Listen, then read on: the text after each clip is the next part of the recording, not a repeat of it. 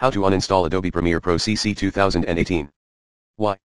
Possible reasons, corrupted client, unwanted installation, more, b. How? Solution number 1, perform the uninstallation process manually. Step 1, gain admin access. Step 2, exit target app and associated background processes. Step 3, start the non-standard uninstall routine.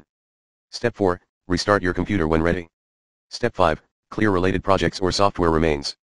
Follow me, exactly.